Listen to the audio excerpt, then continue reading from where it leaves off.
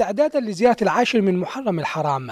دائرة صحة كربلاء تستنفر ملاكاتها الصحية ومؤسساتها في عموم المحافظة لضمان سلامة الوافدين إلى المدينة المقدسة والمشاركين في شعيرة ركضة طويريج دائرتنا قد انهت الاستعدادات النهائية لإنجاح خطة الطوارئ الصحية لزيارة العاشر وركضة طويريج وتتألف هذه الخطة من عدة محاور. المحور الأول هو رفع الوعي بخصوص الأمراض الوبائية وتعزيز اللقاحات والتشخيص السريع لهذه الأمراض لغرض عزلها عن بقية الزائرين.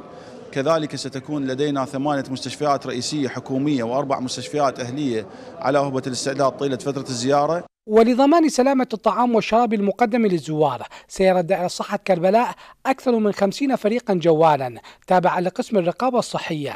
لفحص المواد الغذائية. كما وضعت مختبر الصحة العام في حالة استنفار لدعم الفرق الصحية والحد من انتشار الأمراض الوبائية. ما يقارب الخمسين فرقة. هاي الخمسين فرقة هي فرق تابعة لشعب الرقابة في القطاعات المختلفة واجبها متابعة المحلات العامة وكذلك المواكب الحسينية آه، سحب نماذج من الأطعمة المقدمة والعصائر والمياه لزائري أبا عبد الله الحسين. كذلك متابعة الشروط الصحية ومدى التزام أصحاب المواكب والمحلات العامة بالإجراءات الصحية المتبعة. استنادا إلى الخطة المعدة من دائرة صحة كربلاء لزيارة عاشوراء. آه، كثف مختبر الصحة العامة من جهوده وإعداد خطة لخفارات آه، ودوام 24 ساعة آه، حيث سوف تستمر الفحوصات وتكثف الجهود لفحوصات الأمراض الانتقالية وخاصة الكورونا وأمراض الكوليرا.